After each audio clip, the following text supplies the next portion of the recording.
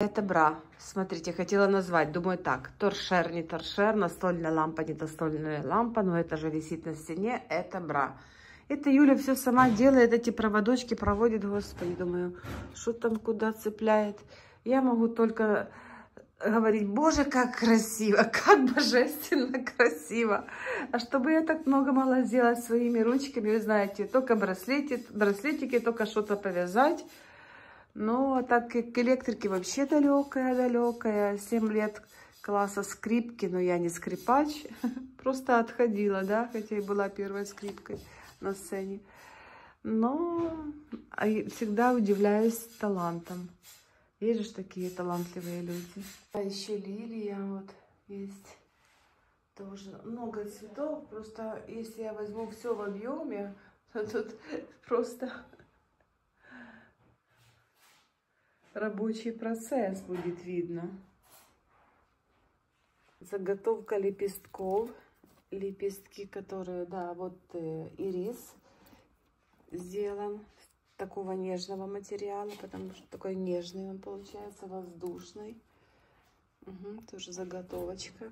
Это листики с бархата. Видите, разные ткани тут присутствуют. И вот этот материал, не знаю, как называется, тот, который моется, которого сделано пионы сейчас. Все делается под заказ. Вот такой цветок. Или работает на заказы. Вот вчера мы гуляли по Витербо, и ее же люди все знают и приглашают. И сильно говорит, что ну, хотят использовать эти цветы там на декорации, на какие-то праздники. Она не хочет, она не отказывается, говорит, зачем, это же столько работы, хлопот, и вот э, она не успевает вот по заказам поработать, понимаете? И, и все правильно. Держит марку. Это я уже уголочек вам показываю. А сколько книг у Юли. Я приехала. Ой, поднимаю, она тяжелая. Вот и книга о Венеции. Человек интересуется и историей, и вообще говорит, что она себя чувствует человеком в Средневековье, который родился не в это время и жил не в этом времени. Вот такая красота. Она готовит кофе, да, завтрак коллационе. Я говорю, мне и чай, и кофе, потому что Юля, как одесситка, тоже любит чай. Я говорю, мне маленькую кружечку кофе и большую кружечку чая. Это называется цветок Стелла Ди Натали. Стелла Ди Натали. Звезда. Наталья это Рождество. Звезда рождественская. Да, и итальянцы, ну, очень уважают. Каждый дом покупает себе на стол. Обязательно все дарят даже друг другу вот эту Стеллу Ди Натали, да. Ну, мне нравятся пионы больше всего. Не знаю почему. Вот круглый год у меня пионы. Вы же знаете, если смотрите мои видео. Еще один уголок. Вышивки, картины. Здесь очень много вышивок. Э, вышивки это тоже работы Юли. Камин у нее есть. Да. Мы вчера вечером его да, растапливали. Да, тепленькое я спала возле камина. Такую камеру или стабилизатор надо себе купить. Такой интересный, интересный, а такой основательный, хороший. Юля, когда снимает на видео, на Инстаграм, она работает по Инстаграму, то прекрасно видно, хорошо, ничего не прыгает. Юлька, мне надо тоже заказать вот такую стоечку, да. Вот эту, потому что у меня другая, а у меня с подсветкой. У меня с подсветкой. У меня с подсветкой. И вот Стелла только в таком персиковом цвете тоже уже. Это заготовка. Она просто... Э, я просто ее сбила с работы на два дня. Она вылетела с рабочей обстановки. Гуляет, возле, гуляет меня. А это знаете что? Сейчас иду покажу вам. Иду в спальню к Юле. Это заготовка на люстры. Она же делает еще люстры. Везде лялечки, везде лялечки. Смотрите, это Юлькина спальня, да. Вот, она делает такие люстры надо включить. Кстати, в Вероне в гостиницах, в Монако в гостиницах, торшеры, люстры, в многих гостиницах ее работа. Можете увидеть в Инстаграме, подтвердить мои слова. Я вам сброшу ссылку на Инстаграм, чтобы вы ознакомились поближе с этим творческим человеком. Или это я так люблю, не знаю, вот. Так они цепляют их. У нее везде цветы, везде цветы, сердечко, везде. Вот постель тоже, все у нее везде цветочки. Вот торшерчик там возле, цветочки, лялечки, сердечко. Красота. Юля проснулась, я говорю, дай мне надо туалет снять. Ты что, не надо никакой туалет? Я говорю, не снимаю твой туалет, я же хочу твое произведение искусства показать. Так, где включается свет? Показываю этот плафон. Вот, смотрите. Это ванна. Не буду уже пока. Она говорит, там трусы висят. Я говорю, висят, пусть висят. Я говорю, трусы твои никто не снимает. Снимает твое творчество. Красота, правда, друзья? И это я приперлась за 700 километров, понимаете? Чтобы это все снять и познакомиться с этим человечком. Окей. Хорошо. А это с Украины тетя. Там, я так понимаю, что там много творческого. Хорошо, добре, все как есть. Тетя передала, тетя делает. Еще такая есть усочка тетя Юлина. А Юлька еще ж картины пишет. Вот я уже так рыскаюсь везде. Вот, вот, вот, вот, вот. Видите, это тоже такой итальянский стиль, реально в итальянском стиле, что много вот фотографий, много картин.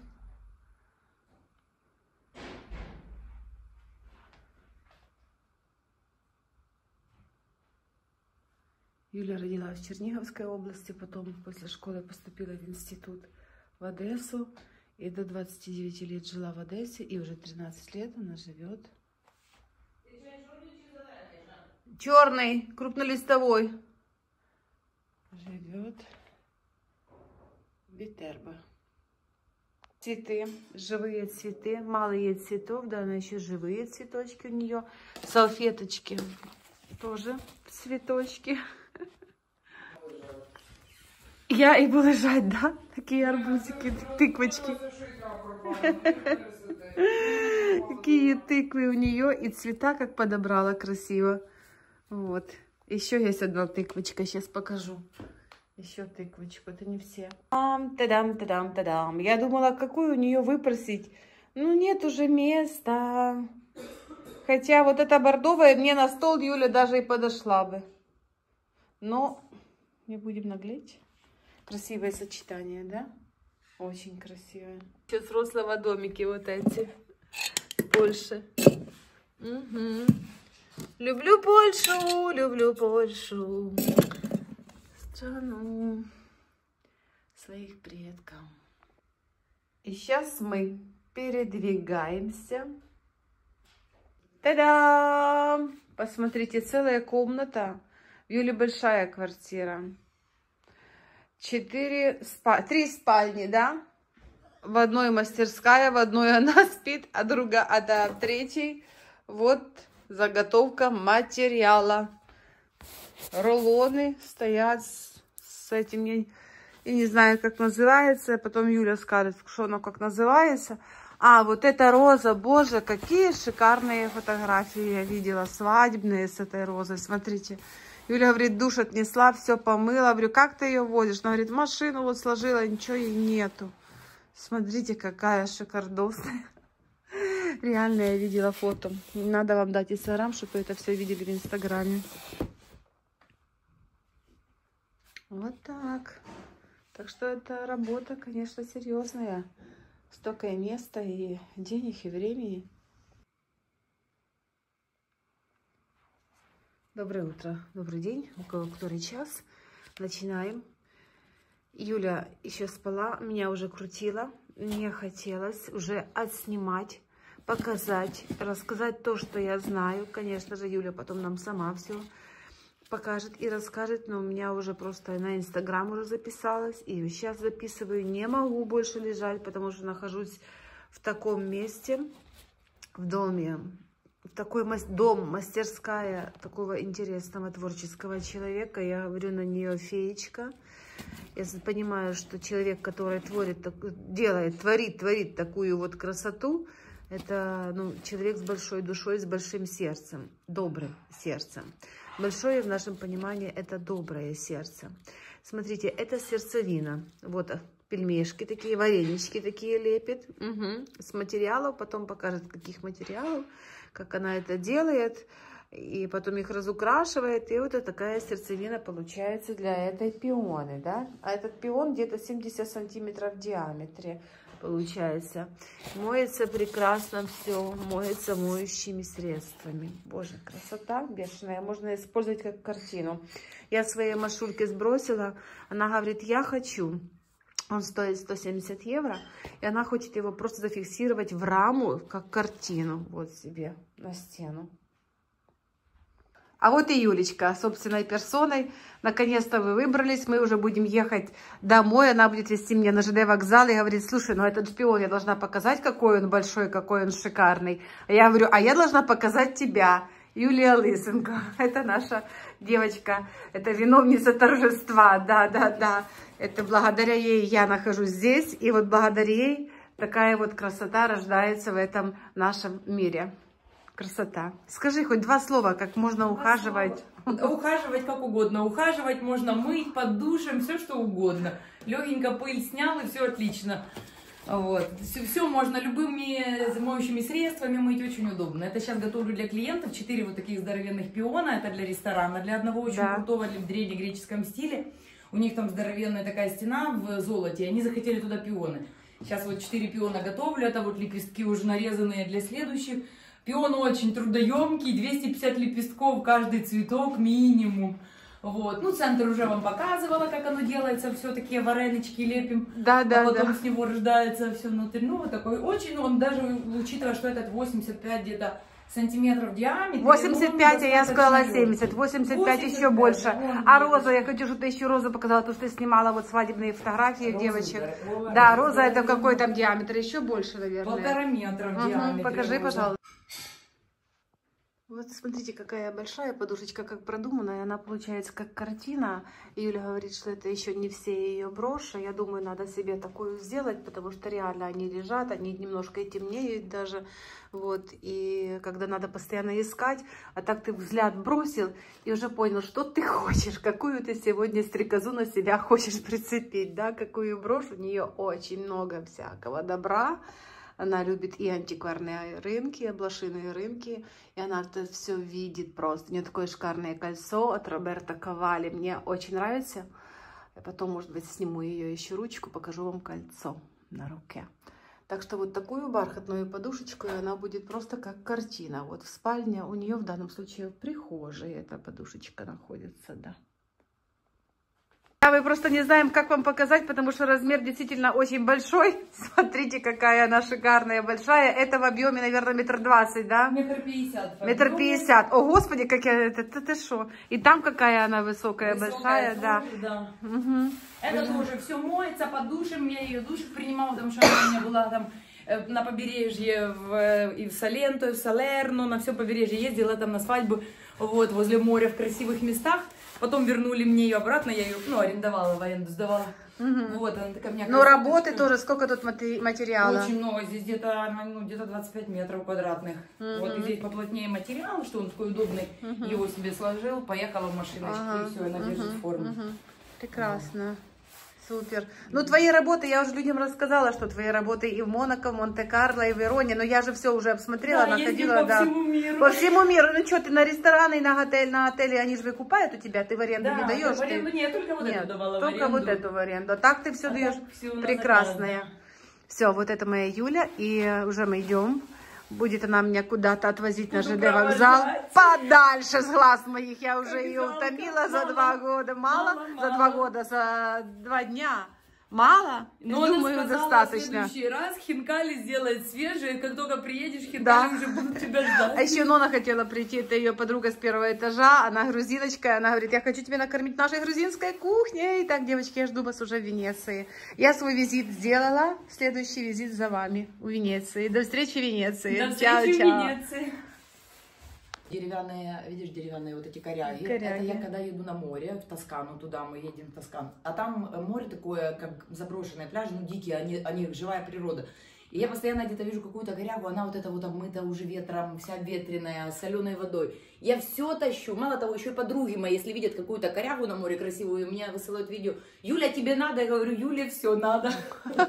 Так что Юля собирает все. Камень тоже там от одного старинного дома разбирали дом.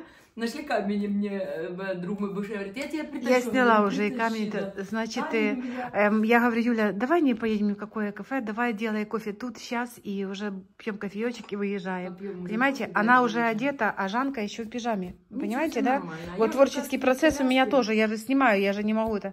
А, покажи книги, которые... Да, я везу от Юли такие книги прекрасные. Сейчас. Юля как раз получила эти книги. Я увидела, говорю, слушай, ты тебе заказывай еще, а я говорю, забираю вот эти. Одна книга «100 самых красивых домов Италии». Шикарная книга. Нашла, я увидела у своей подружки. Она возле Рима Мгм. живет, у нее школа кутюрной вышивки. Девочка с России, много лет здесь уже живет, мы с ней дружим. Я у нее увидела. Для Эльзы Скапарелли она работала. Э, Она для Валентину вышивала, Для она была Валентина. вышивальщицей Мгм. Валентина. Мгм. Ой, такая умничка вообще. Та- То, отдельная история. Я вот эту вот книжку увидела, 100 самых красивых домов в Италии. Вообще для вдохновения, это супер.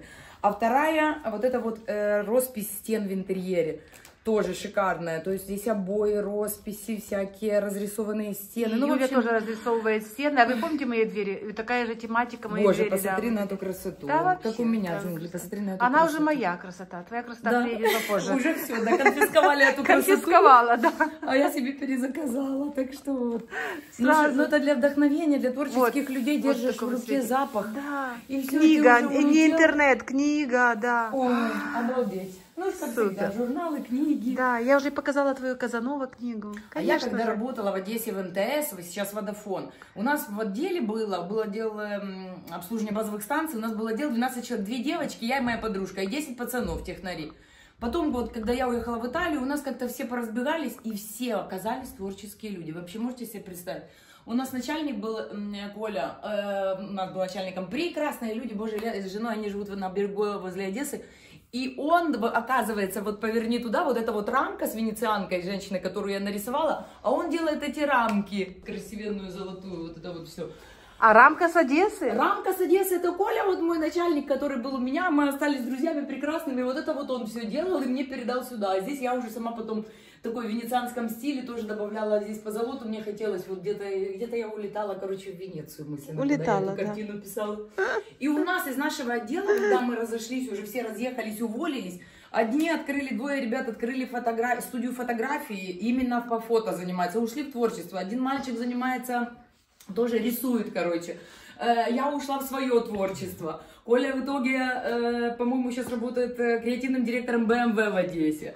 Ну, в общем, все ушли в творчество, как бы, и мы, эти люди строили базовые станции на юге Украины, а мы строили хорошо. Да. Молодцы. Я обслуживаю. Ну, такие были творческие. Какой был коллектив у нас, господи, я обожаю всех.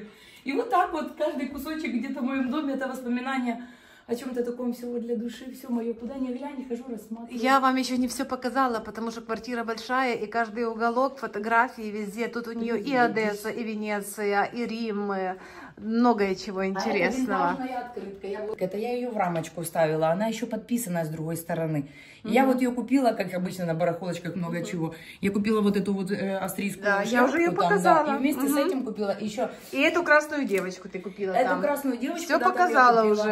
Я Мгм. вот все такое, мне нравится. Нравится, нравится. Мое, это моя жизнь, она меня вдохновляет, я этим живу. Видите? Оно Не одна я такая утром. ненормальная, я вообще далеко такая. Ну вот потому я и приехала, потому что я чувствую, что мы с одного яйца, как я говорю, с одного яйца, да? Да. Все, спасибо, моя дорогая. Заканчиваю и буду снимать уже наконец-то свою пижамку. Все, пижамку. всем пока, до скорой встречи, чао-чао.